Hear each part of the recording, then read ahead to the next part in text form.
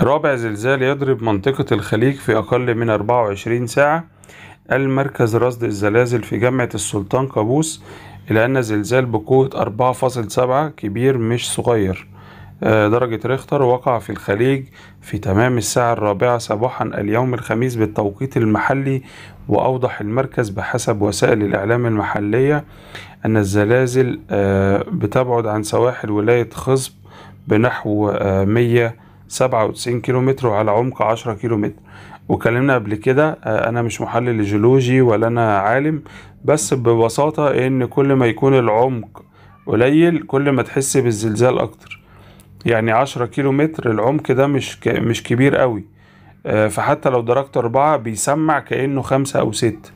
ويبعد هذا الزلزال الرابع من نوعه في أقل من 24 ساعة في منطقة الخليج حيث وقع زلزالا بقوة 4.9 درجة الساعة عشرة صباحا الأربعاء بالتوقيت المحلي وسبقه زلزال بقوة 5.4 درجة الساعة 10 من, نفس اليوم وزلزال بقوة 4.7 درجة آه، في صباح الأربعاء الساعة 9 وكان الكويت قد رصدت منذ عشرة أيام تقريبا زلزالا شدته خمسة درجات. ربنا يحفظنا ويحفظكم. إحنا بنحاول دايما نجيب لكم هذه النوعية عشان تبقى دريان إيه اللي بيحصل في جميع الدول. السلام عليكم ورحمة الله وبركاته. أهلا بيكم في قناة مساء الأخبار. معكم مازن المصري. هنتكلم النهاردة عن موضوعات هامة جدا. فضلا وليس أمرا لو أول مرة بتشوفنا اشترك في القناة وفعل جرس التنبيهات. لايك للفيديو ويا ريت تعمل مشاركة لو عجبك المحتوى. مرض غامض يضرب كوريا الشمالية وزعيمها آه، يعزل المصابين. كذا مرة الناس بتقول لي طب إحنا مالنا ومال كوريا الشمالية؟ قلت قبل كده في تشبيه بسيط إن آه، الصين كانت موجود فيها فيروس كورونا وكانت أبعد حتة لدولة مصر على سبيل المثال. آه، ووصل من هناك لهنا. يعني العالم كله بقى عبارة عن قرية صغيرة يعني اللي بيحصل هناك ممكن يحصل والعياذ بالله في أي مكان في العالم. ظهر الزعيم بتاع كوريا الشمالية اللي هو كيم جونج أون آه، مرتديا الكمامة الطبية لم يمر شهر على إعلان كوريا الشمالية بانتشار فيروس كورونا. وكانوا هما بيحتفلوا من فترة إن البلد آه، الوحيدة اللي ما دخلهاش كورونا هي هذه الدولة. ولكن آه، مفيش حد كبير على المرض. وصل ليها وهو المرض الذي أسمته بالحمى. مرض جديد ظهر هناك زي الحمى كده حتى أعلنت السلطات الصحية اليوم عن تفشي وباء معوي غير محدد وهو الأمر الذي قد يعرض منظومة الرعاية الصحية في الدولة للخطر وخاصة في ظل ما تعانيه من أزمة بحسب ما نقلته شبكة سكاي نيوز عربية.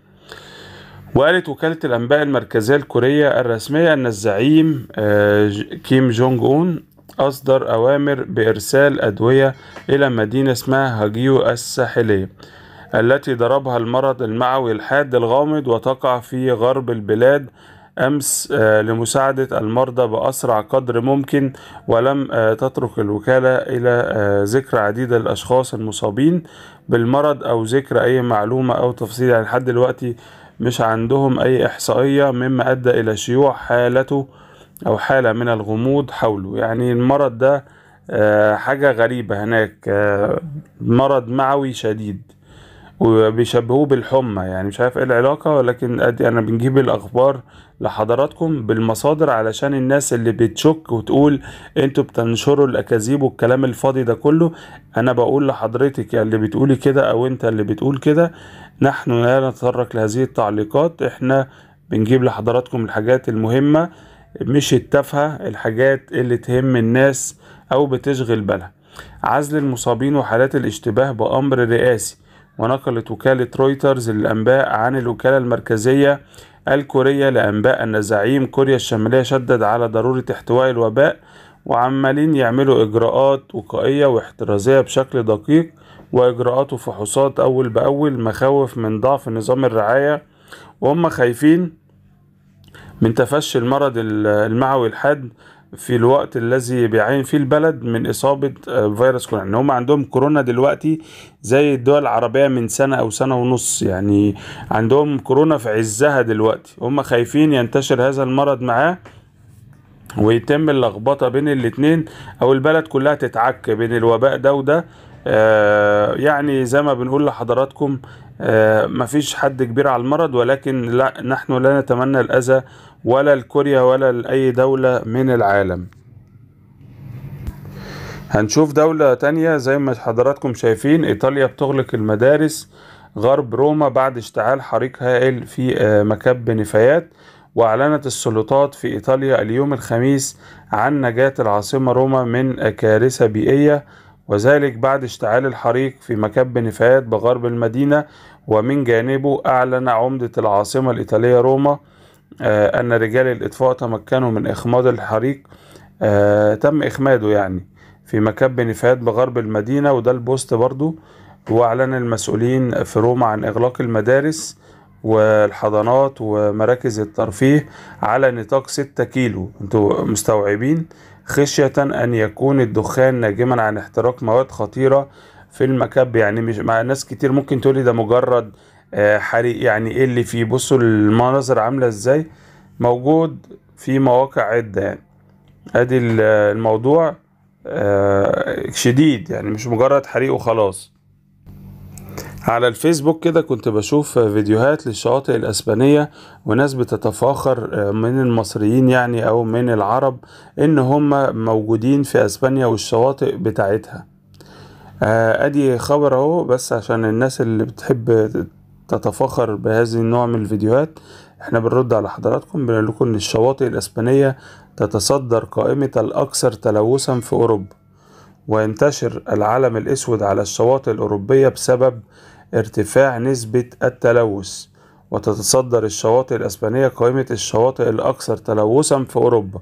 والناس اللي شافت منكم ال- الفيديوهات بتاعت أسبانيا واحد كان لسه عمال يعمل فلوجز للموضوع وفرحان جدا إن هو بيصور في أسبانيا على الشواطئ يعني. ويوجد في آه، البلد الأوروبي 48 شاطئا ملوثا. حسبما قالت آه، صحيفة اسمها آه، لارثون الأسبانية. وأشارت الصحيفة لأن الوضع البيئي في أسبانيا أصبح يعاني من مشكلة كبيرة خاصة مع وجود كمية كبيرة من المواد والجسيمات البلاستيكية الدقيقة التي ينتهي بها المطاف للرمي في البحر والتي آه، يطلق عليها آه، بعض الخبراء اسم الحبيبات. وأوضحت الصحيفة أن هذه الحبيبات أو آه، الكرات البلاستيكية الدقيقة يعني تؤثر بشكل خاص على الشواطئ وهي موجودة بنسبة 92% طبعا إحنا مش هنعمل تحليل نفسي للموضوع ولكن إحنا بنحاول آه، نجيب آه، من كل العالم علشان الناس آه، يعني إيه تحس إن الدول العربية فعلا بالفعل لا في عندنا خير لسه والحمد لله على كل حال. طيب متابعة للموضوع بتاع أزمة لبن الأطفال في أمريكا. تتفاقم آه، الطقس يتسبب بإغلاق مصنع في ولاية آه، ميشيغان. أكبر الطقس القاسي شركة آه، أبوت وده اتكلمنا عنه إن آه، في آه، بعض الشركات الأمريكية تم إيقاف الإنتاج مؤقتا من حليب منتجات الأطفال آه، في ميشيغان والذي أعيد تشغيله بعد إغلاقه لمدة أشهر. ما ساهم في نقص أو حدوث نقص وفقا لشبكة بي بي سي. أمريكا فيها مشاكل وإحنا بنقول الكلام ده علشان بس الناس ما تحسش إن المشاكل عندنا إحنا بس. برضو هرجع أقول ده في كل فيديوهاتنا نقول الحمد لله على كل شيء. أدي الأزمات وأدي آه، يعني والعياذ بالله لو وصل للحال لواحد أو لواحدة آه، بيسمعنا دلوقتي عن نقص في الدولة اللي أنت فيها في موضوع اللبن تبقى كارثة بكل المقاييس. والناس هتقول إشمعنى إحنا والدول بتاعتنا مش متق... دلوقتي كله بقى تساوى كأسنان المشط. يعني مفيش حد في العالم كله ما عندوش أزمة.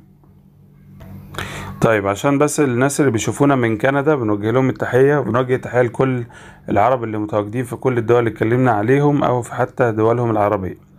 هنشوف الموضوع ده عن آه، بعد قتل والدته سلطات كندا تكتشف خطة الممثل ريان آه، لاختيار رئيس الوزراء وقالت شبكة سي بي سي الكندية أن الممثل ريان جرانثام الكندي الذي آه، قتل آه، والدته مارس 2020 وأقر بالذنب في الجريمة أمام القضاء كشف أنه خطط لاغتيال رئيس وزراء بلاده جاستن ترودو. آه، واتهم الممثل البالغ من العمر 24 عام في البداية بارتكاب جريمة قتل من الدرجة الأولى لإطلاق النار على والدته. معرفش أنت إيه كنت بترضع زبالة ولا ولا انت إيه يعني أمك لو كانت بترضعك من من كلبة يعني مش عارف ما كنتش هتعمل كده فيها يعني. وتم إدانته بارتكاب جريمة قتل من الدرجة التانية في مارس آه، من عام ده هو شكله عنده مرض نفسي. يعني الموضوع بقى مش مرض تربية ولا الكلام ده لأ هو شكله تعبان يا عيني. في جلسة النطق بالحكم قال المدعون أن الممثل ده خطط في اليوم التالي لقتل والدته لقتل ترودو اللي هو رئيس الوزراء ده وأحضر معه ثلاثة بنادق وذخيرة و12 زجاجة مولوتوف آه، وخريطة بها الاتجاه إلى مقر إقامة رئيس وزراء كندا.